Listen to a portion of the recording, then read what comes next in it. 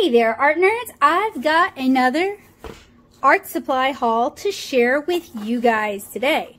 Jackson's was having a sale on their watercolors, and of course, being the weak-willed person that I sometimes am when it comes to art supplies, I had to indulge. So I figured, why not unbox and share my haul with you guys?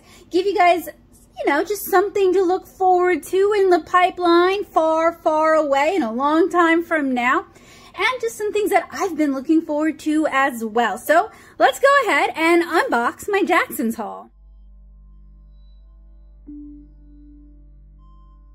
If you're new here, hi, I'm Becca Hillburn. I am a watercolor comic artist. I make the watercolor comics 7-inch Kara.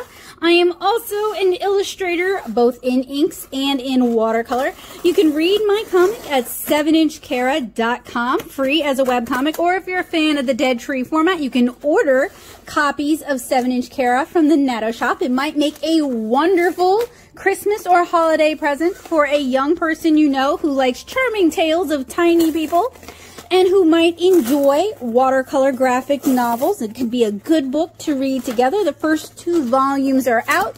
And if you order both, I have a special deal for you guys. Or like I said, you can read it as a web comic, and that's a good way to see if it might be a good fit for you. This thing is, whew, apparently there was a tear strip. All right, there we go. We got it. Basically free. I apologize for any weird atmospheric noises. I cannot find the adapter for my lavalier mic today, and I decided to just push on through because that's what we do here.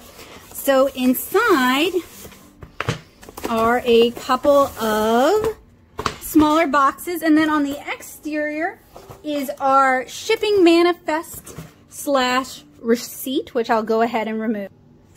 So I'm not going to share the receipt on camera because it does contain my personal address and I'm just not comfortable with sharing that to the very public internet.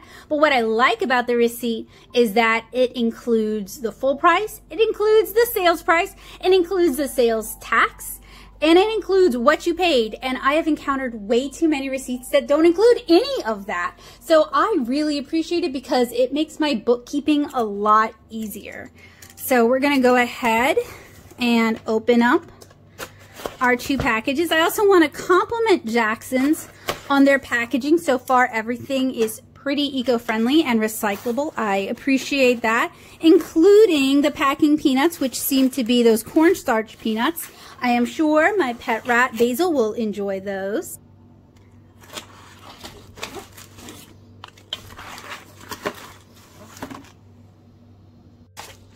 They were having a pretty significant sale. So I wanted to take advantage of that and get some things that I've been wanting to try out, but couldn't quite justify it. So we have a very small, I think this is a Daler and Rowney watercolor kit. I was hoping this one would be nicer than some of the other ones I reviewed from Daler and Rowney. It doesn't necessarily seem to be, but it's going into the student grade showdown. So you guys will hear more about that later. We also have the limited edition super granulation haze, which my local store has started carrying Schmincke, and they've got everything but random gray and haze. And I swatched random gray during one of my live streams, and it is a beautiful color. I got it through St. Louis Art Supply.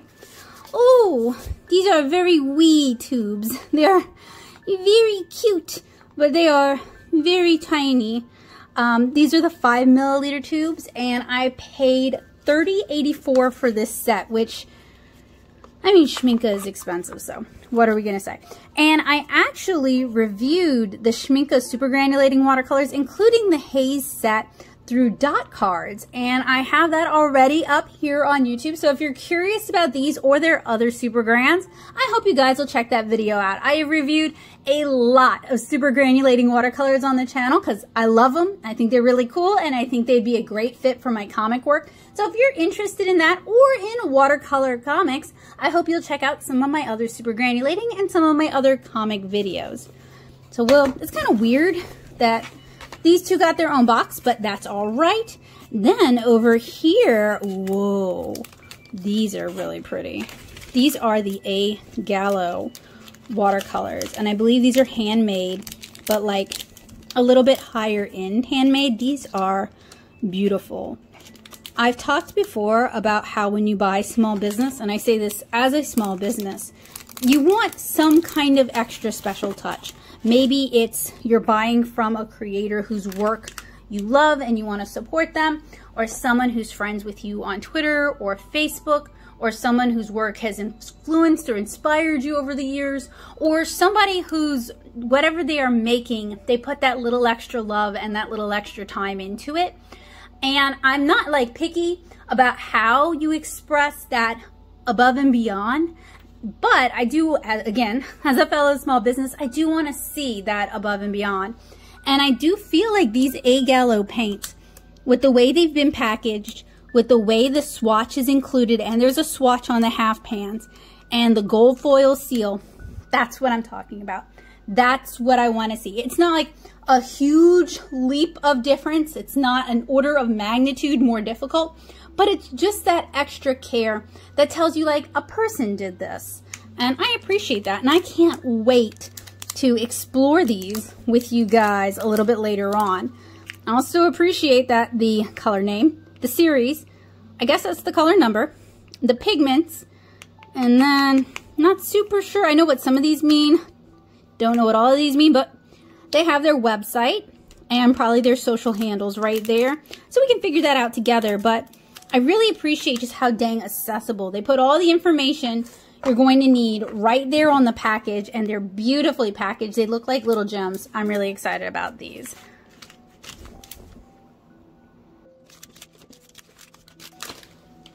And then we have our Isaro watercolors and people have been talking about these. I have heard them really chatted up and I wanted to see if they're worth it. And these are smaller tubes, so it's a good thing I got them on sale. I also have the Ludia plant-based watercolors that I, I was working on doing like a whole plant-based watercolor series and then things kind of petered out because I just hit several dead ends so maybe you guys can help me. If you know of any other manufacturers who make plant-based watercolors like have a series of like let's say the essential six mixing colors with some earth tones that would be a huge help. Please let me know down in the comments. I'll investigate them. I did investigate the Kaya watercolors, but she hasn't offered them in a long time. I've also investigated making my own by trying to uh, use chalk or talc as the substrate that we uh, get our dyes, our plant-based dyes to cling to. And I've hit a bunch of dead ends on that. So if you know anything at all about making watercolors using dye bases or using plant bases, please get a hold of me in the comments or reach out to me on the paintbrush paint box, my art-centric Discord server, because I'm really curious about it. I'd really like to explore it more, and I've just hit some dead ends. And I know there's like a lot of commonalities with dyeing for clothing, but there's some holes in what's available online, and I'm just not intelligent. I just don't have that background to be able to jump those holes. But if you do, or if you know a good resource, I'd love to hear about it because a lot of the resources that used to sell these kind of plant-based watercolors are not offering them anymore or they are like the Ludia paints are super price prohibitive for from what I've heard from a friend who bought some and then I bought hers off of her they are just kind of underwhelming with the color delivery so it's a little bit of a tangent but I kind of lump Isaro with those in, in my mind. Not that they're made the same way, but because I kind of found out about both at the same time. So I look forward to sharing these with you guys as well. I'm really, really excited about that. Now, normally at this part of the haul, I would say that this was made possible thanks to the generosity of my Patreons. I can't do that this time because I had already spent my Patreon funds on the Molotow sketch markers. I'm still waiting on those to come in, as well as I think two other things. Oh yes, the Mondo Llama watercolors, which I've already reviewed, but I still need to do the voice work for, and the Amy Tangerine watercolors, which I have not yet reviewed. So those are in the works. When Jackson's had a sale though, I really wanted to be able to take advantage of it because it was not just like picky choosy about which watercolors, it was pretty much like watercolor wide. And since some of these brands are so expensive, I definitely wanted to take advantage of that. So I used my own funds and some money from my husband to be able to buy these. So thank you teaching gigs that I do to earn a living. And thank you to my husband, Joseph Coco, because he and, and me are the reason I'll be able to review these for you guys. But generally, my awesome, amazing patrons are the reason I'm able to bring reviews to you guys because I use the funds from Patreon to buy most of the supplies that I review. In this instance, it was out of pocket, but in general, it's coming from Patreon. So even if this particular batch isn't thanks to them, I do still want to thank them because their support and encouragement really means the world to me. And it's why I not only can afford to continue to do these reviews, but even still want to do these kind of reviews. So thank you guys so much. The total cost for this was $201.33. I've got my receipt in front of me off to the side.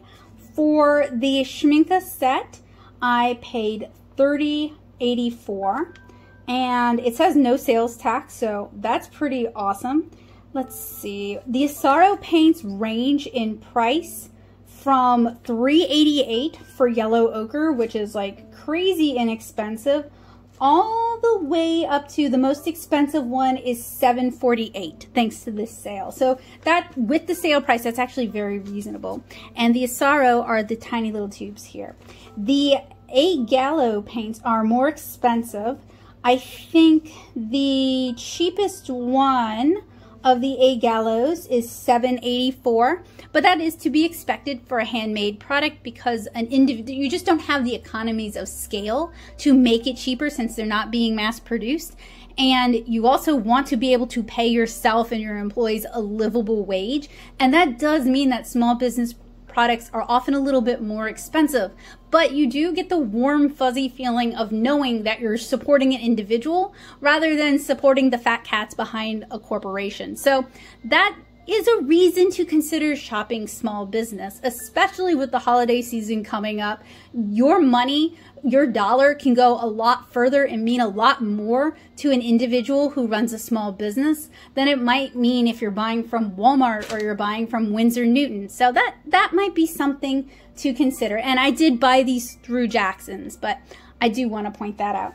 So I said the cheapest was 784 and the most expensive was their Vermilion Red, which was $9.60. So with the sale, it was actually still very affordable considering. And then the travel watercolor set, and it doesn't actually say who made it. And oh man, that's some student grade showdown right there. Um, I think it was a Daler Rowney, but before I do the showdown, I'm going to go ahead and investigate who made it if I can. I paid $8.29 for the entire set, so that's uh, shockingly cheap. I just wanted to share my haul with you guys. Art supplies don't have to break the bank, but it does mean keeping up with what sites are having a sale. And a good way to do that is to go ahead and sign up for their mailing list and hold on to those dollars and cents carefully until they're having a sale, because that can be a great way to get the most mileage for your dollar.